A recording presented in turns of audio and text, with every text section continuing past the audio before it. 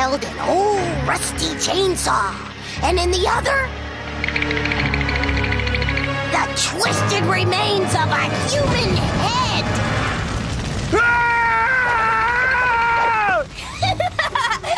Man, look at you! You're so scared! No, uh, I am not.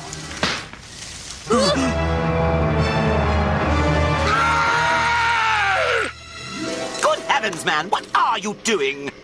Telling stories round a campfire. What's it look like? You're burning the forest, you imbecile! The plant life in this domosphere provides the only oxygen for the satellite. Oh, lighten up, tree hugger.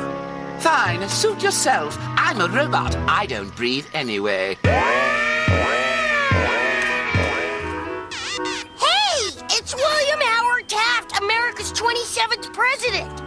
He was not only our chunkiest president, he was the only man to serve as both chief executive and chief justice of the Supreme Court. Oh, yeah. Wh- What was it true what you said about the human head? I don't know. Maybe.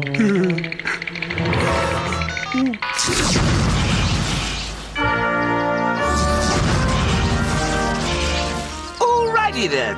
Washington, D.C., 1911. Look, there's the Lincoln Memorial.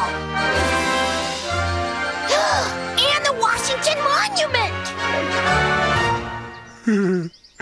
In the haunted mansion.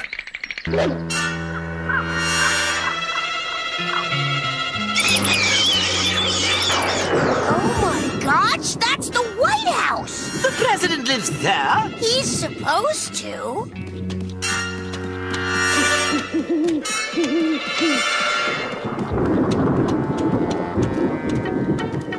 Dog.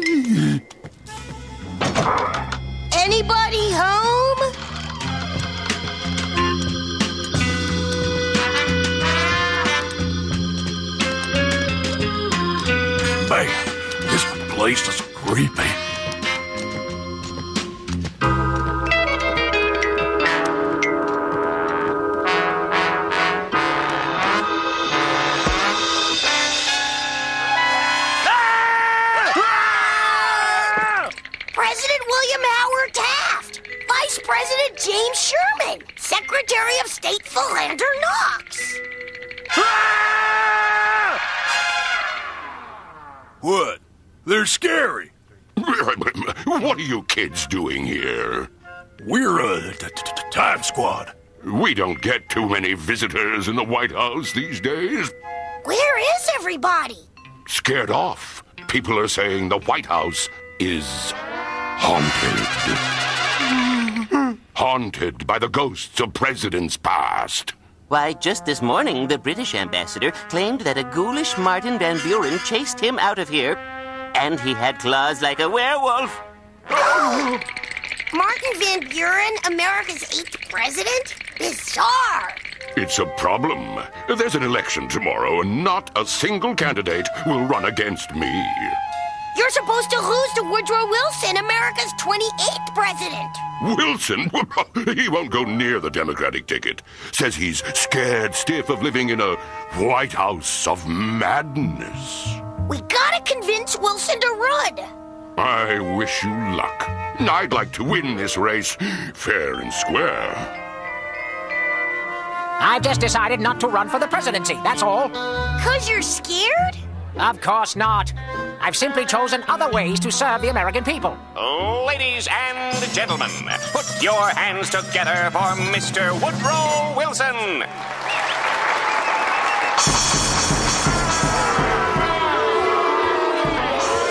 Man does have talent.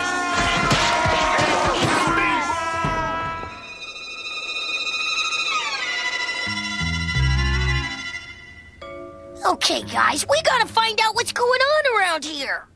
Well, I'm not sure if this place is haunted, but it's definitely tacky.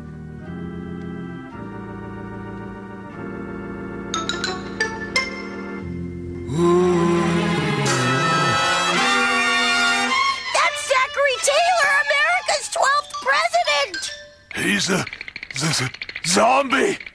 Get out of the White House! You got that right.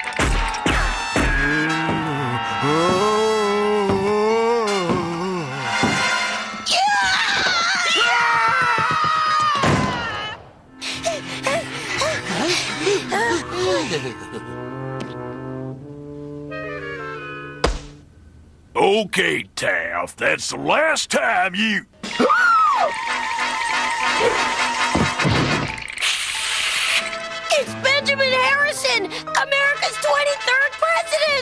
And I'm an empire. Blah, blah. I want to suck your blood. Quick, in here! Ah, I'm James Buchanan.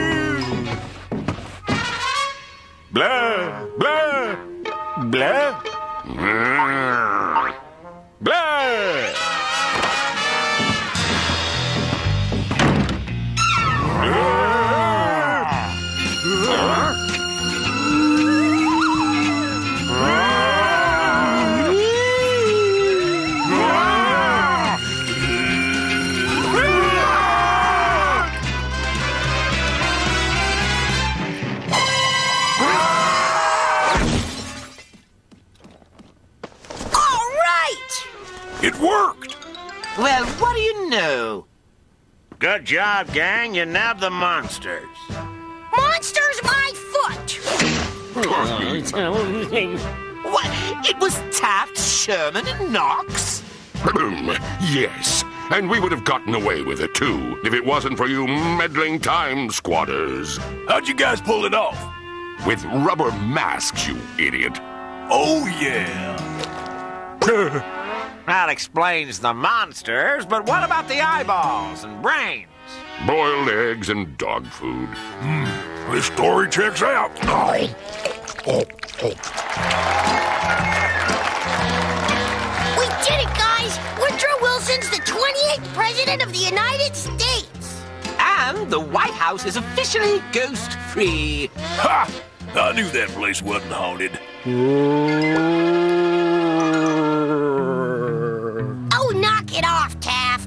It wasn't me, I swear.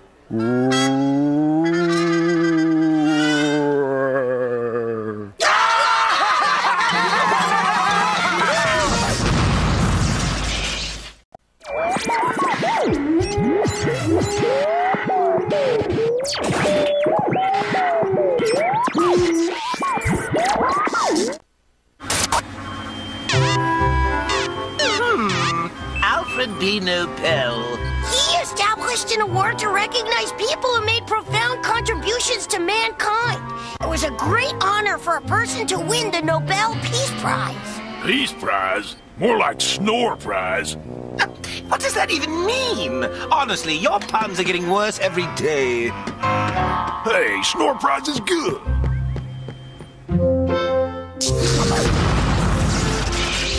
Well, we better start looking for Nobel. God morgon. What did you call me?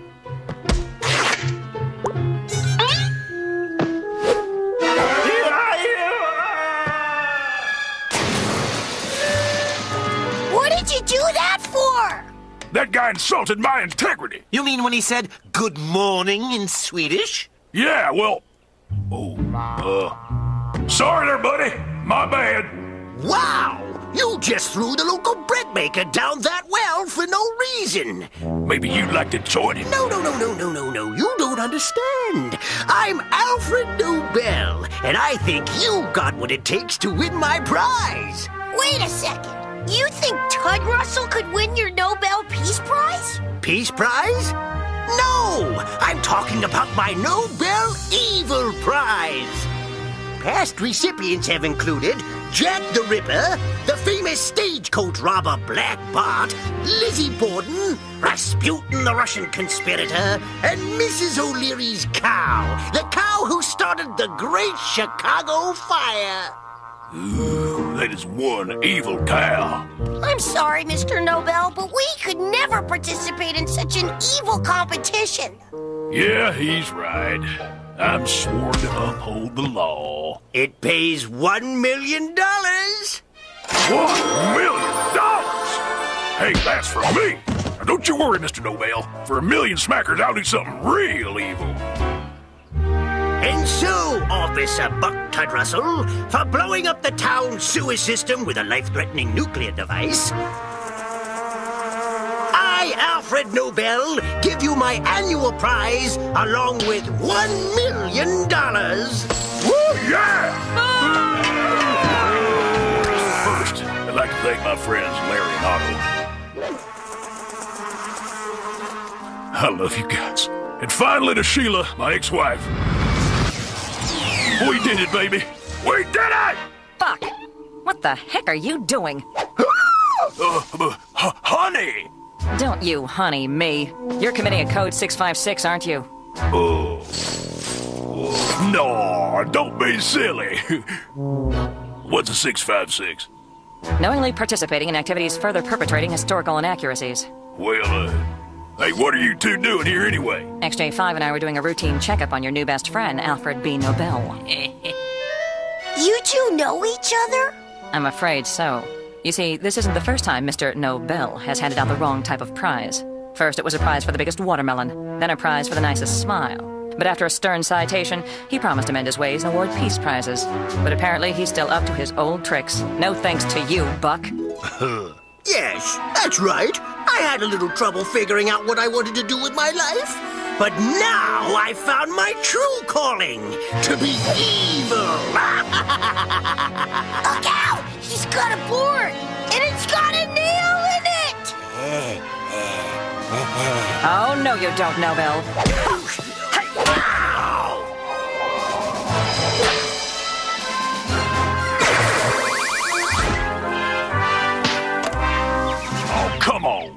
solution to every problem have to involve violence with you two?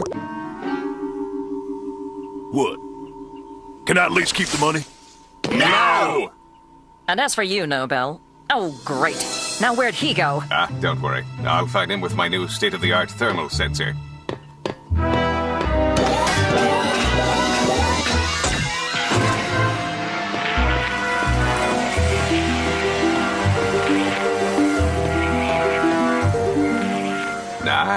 Isn't it? Ha!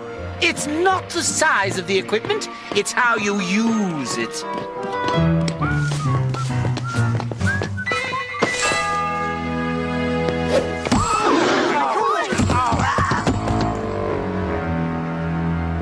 He must be here, in this mansion. So, I see you're still borrowing the orphan. Well, uh, yeah. So?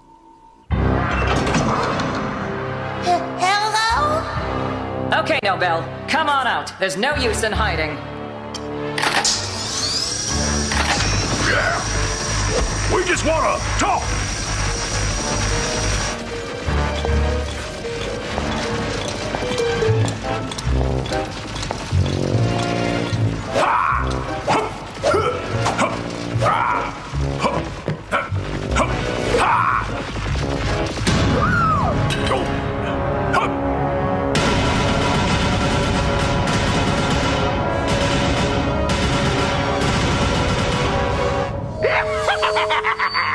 Foolish Time Squad, you fell right into my trap.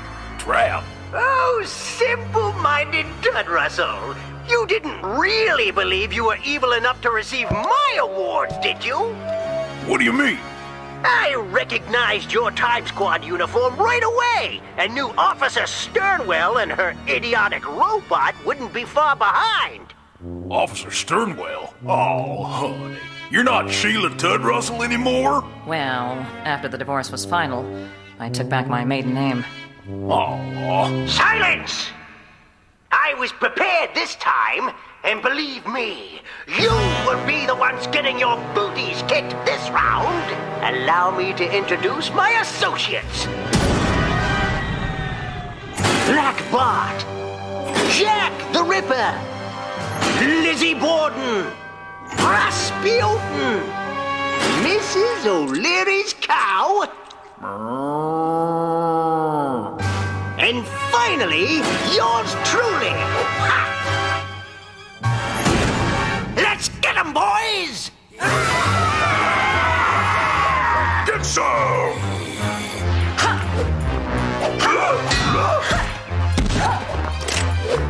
Hey!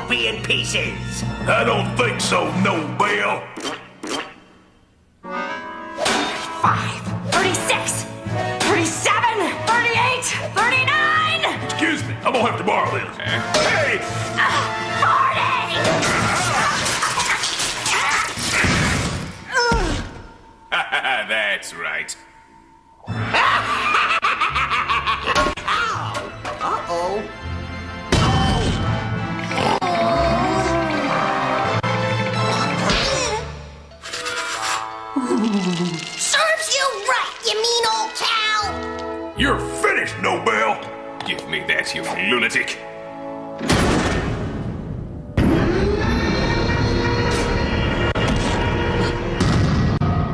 Hello? Anybody? Larry! Are you okay? Yes, I'm in a million pieces. I've never felt better. Okay, Nobel. Am I gonna have to cite you, or are you going to become peaceful? Never! I'm Alfred Nobel, and I'm evil now, and there's nothing you can do about it. Oh, Mr. Nobel, don't you see? Evil isn't the answer. All evil brings is fear and shame.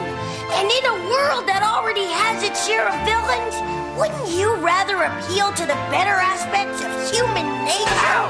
Look deep inside, and I'm sure you will find a good man, a gentleman, a peaceful man. All we're saying is give peace a chance. Oh, you're right. From now on, I will dedicate my award to peace and goodness. right, guys? Uh-huh. Well, actually, all the rest of you need to stay evil. Well, looks like it's back to cattle rustling for me. Huh. Nice going, kid.